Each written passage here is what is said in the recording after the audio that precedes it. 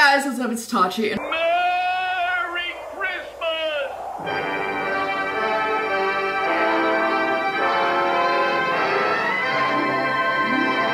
Welcome to or back to my channel. I hope you guys are all doing very, very, very, very, very well. I'm feeling good. I hope you guys are feeling good too. And I just wanted to sit down, give you guys a little bit of an update, do a bit of a Q and A because I feel like we haven't just like chatted in a while. I'm also here in Hawaii in my childhood room, the room I grew up making videos in, and so it feels very nostalgic to just kind of like sit down and do these kind of, I don't know, very chill videos that I started my channel making. And also I love my room and I just love this space and that's what's up. Anyways, without further ado, subscribe if you're new and let's get straight into this video. So let's just hop into the questions. The first one is how do you feel mentally after not being vegan anymore? For those of you guys who don't know, I was vegan for almost two years and I also dealt with an eating disorder. I've been in recovery now for almost eight months and I am doing so much better. But I am no longer vegan, no longer vegan with the label of vegan because it was something that was very restrictive for me and my mindset and something that I've kind of had to step away from in order to heal my relationship with food as well as my relationship with my body. I've stepped away from the title of veganism. I don't consider myself a vegan, but the food that I eat is majorly plant-based. I'd say I eat some fish every once in a while, especially when I'm here in Maui. I eat definitely a lot more fish than I do when I'm on the mainland, especially because it's fresh caught. Either my friends have caught it or it's from a local market. I just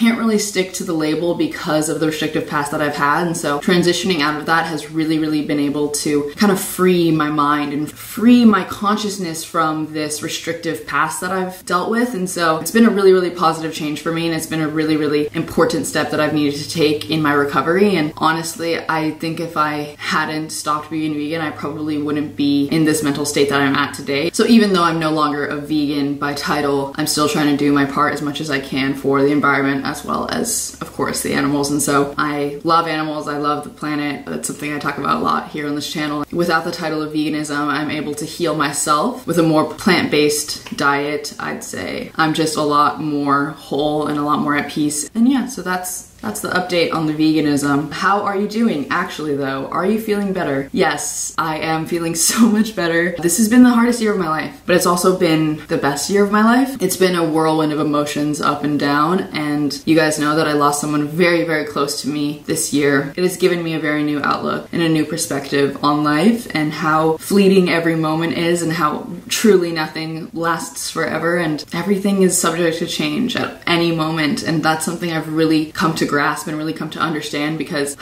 good times, bad times, nothing lasts forever. Everything will end. With that mindset, I've kind of been able to realize that good moments, I will cherish them, I will hold them, I will enjoy them, and bad moments, I will feel my feelings, I will go through those emotions, I will let myself feel that pain because I know that it won't last forever. That's something that last year when I was in a very deep and dark depression that I never thought that I would come to realize. And so this year has truly been a year of growth for me, and I never thought that I would come to this mindset that I'm at today. How I've done that is just taking it step by step, taking it every day, one day at a time, one moment at a time, and just allowing myself to heal naturally with the help of my family and friends, of course, but it really just took time and patience with myself. I've realized the importance of self love, truly, the importance of self love and self care and caring for our friends and our family and those around us. And you never know how much someone is struggling because you're never inside of their head. And so, what I've really learned this year is empathy, the true meaning of empathy and what it really means to connect and to align yourself with the way that that person is feeling and how they're going through things and just being open and having an open heart and an understanding mind to someone else's circumstance. Being present has been something that has been a really big lesson for me this year. I'm honestly so grateful that I'm at the place that I am at because this time last year, I never thought that I would get back to this point. And so, for any of you guys who are struggling with depression, anxiety attacks, an eating disorder, or a mental disorder of any sort, just know that it will get better, especially with the right treatment, the right people in your life, and surrounding yourself with these positive people, and just also taking time to be alone, not isolating yourself, but also taking time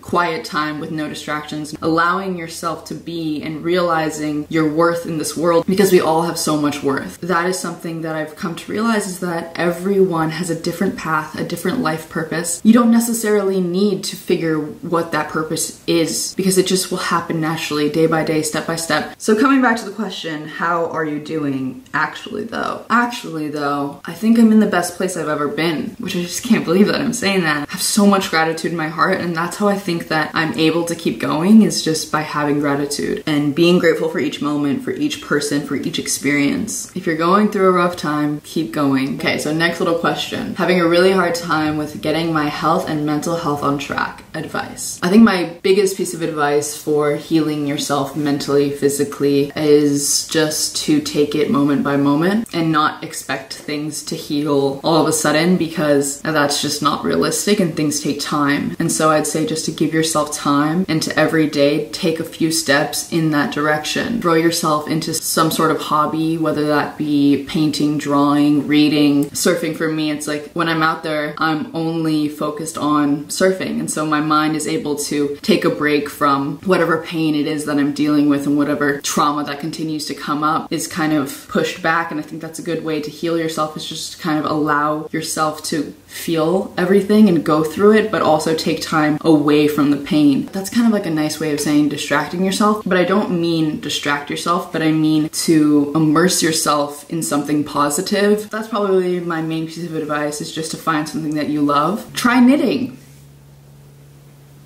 Or don't try knitting. I mean, I don't know whatever you're into. Something else I would suggest is to read books about the topic of mental health issue that you're struggling with, whether that be an eating disorder or a anxiety disorder, stress, depression, whatever it is that you are going through personally. I think it's really reading some sort of self-help books if you're into spirituality, some spirituality type books, or if you're religious, something alongside your religion. I personally really like listening to Audible. You guys know I've been promoting Audible for I don't know how long. This video is sponsored by Audible, so thank you to them. Audible content includes an unmatched selection of audiobooks, original audio shows, as well as news and comedy. I personally like listening to audiobooks about spirituality and law of attraction, as well as just self help type books. And so, a book I would actually recommend to you guys right now, since I am in a very healing and growth period of my life, I've been loving the book The Healing Self by Deepak Chopra. I absolutely love this book. It has so much incredible insight, so I definitely recommend it. What's awesome about Audible is that you can listen on the go and be educating yourself while you're doing something else. So, I love listening to Audible when I'm cleaning the house or doing chores, running errands, traveling in the car, basically anywhere. I love listening to Audible because I'm doing something else. I'm still able to learn, educate, and feed my soul, which I just, I love. If you guys want to give Audible a try, go to www.audible.com backslash Tatiana or text Tatiana to 500 500 to get three months of Audible for $6.95 a month, which is such a great deal. And this is for only a limited time. So definitely click the link below and check it out. Let's keep going with the questions. So the next question is where do you see yourself in 10 years? That's freaking crazy. I'll be 30 years old. So 10 years, that's 2030. Hopefully I'll be married with kids, living in a nice house on the beach, happy, healthy, full of life, full of love. Hopefully I will have been in a few movies by then. I hope to have a nonprofit. I hope to have a few companies and I hope to be a really, really good mother. That's where I see myself in 10 years. I don't know if I'll be in Hawaii or if I'll be in LA. Who knows? I don't know. What does 2020 have in store for you? I think a lot more videos, like so many more videos, a lot of travel. I'm just gonna be focusing on acting a lot as well. I feel like I'm gonna have a lot of growth on my channel next year. I feel like I'm gonna be able to reach a lot of people with my message next year. Hopefully, this is just the plan that I'm kind of making for myself and kind of the intention that I'm setting for the year is to reach a lot of people with my message of self-love and positivity as well as just being present and also environmentalism and all the things that I care about. I think a lot of good things are coming in 2020 for all of us, not just me. For you too. What are your thoughts on the VS show getting canceled when it was your dream job? It's crazy that that was my dream job. Um, I've grown so much and I've changed so much. I can't believe that was my dream job, TBH. Victoria's Secret has always had such a limited space. They're not inclusive at all and they never have been. It was very close-minded of me for that to be my goal in life is to be a VS angel and I'm so happy that I've moved on from then. I've also taken a step back from fast fashion as well. My whole life has kind of like completely done a 180 and I'm so happy about it. And I wish VS all the best. I hope that they start to include all shapes and sizes, all races, all genders. I look forward to seeing what they're gonna do because I feel like they kind of have to if they wanna not go bankrupt. But I'm definitely focusing on more sustainable brands now as well as different types of things. Do you think you'll live in Maui one day and have a family? I think so. I think I want to raise my kids here. I think it would be the best thing ever. I loved growing up here. How often are you surfing? We need more surfing videos on YouTube. I'm surfing every day. When I'm here in Hawaii, I'm surfing every single freaking day. Well, every day that I can. Like if it's not good or if it's too big or whatever, I don't go. But I've been surfing a lot and I feel like I'm getting better. My brother actually ordered a zoom lens. So hopefully soon I'll be getting a lot more clips of me surfing and so you guys can see because I feel like I'm all talk. Like there's no videos of me surfing on the internet. It's like, do you even surf? Probably not. It's coming. I promise. How's modeling? Have you been working with any brands or focusing more on YouTube? Um, I've definitely kind of taken a step back from modeling just a little bit and just to focus on my mental health, my physical health, spiritual health, emotional health. I'm not really focused on modeling anymore. When I get request jobs, so if a brand like requests to work with me, then I'll go and shoot it. But I've been focusing mostly on YouTube and I really, really like it. And I really like the brands that I'm working with right now on YouTube because I'm just in such a good place and I'm doing a lot of work on YouTube right now. And I hope you guys don't get too annoyed with my sponsorships because it's been really, really successful for me and I'm definitely finding my path on YouTube. Had a lot of questions also about if I'm signed with a modeling agency and no, I'm not. Thank God. I'm so happy that I'm no longer signed with a modeling agency because it was one of the main big stresses on my life was somebody measuring me every month, measuring my actual physical body and my worth by my measurements and the way that I look. I'm happy that I've taken a step away from that and I'm excited to see where the modeling industry goes because I know that they're going to start to work with girls of all shapes and sizes. Everything is starting to become more inclusive, but I've just been working on myself right now. I haven't quit modeling. I'm not done modeling. I'll definitely continue to model. Yeah, that's the update for right now. What's your current workout routine? My current workout routine has been a lot of yoga flow, a lot of yoga poses, a lot of yoga stretching, strengthening, core workouts, surfing, that's a workout, hiking. I love cycling classes. That's kind of just been my workout. I've just been trying to be very intuitive and listen to my body and not overwork myself at all and just kind of go with the flow. And I've just been really, really, really loving the way that yoga is making my body feel. So that's kind of what I've been focusing mostly for movement and exercise. Did you move back to Maui? No, I didn't move back here. I've just been here for like a few weeks and I'm loving it. I still live in LA. It's just like kind of like a never ending back and forth. And finally, last but not least, what is your second favorite color? My second favorite color is probably red. I like the color red. It's kind of like the color of the subscribe button.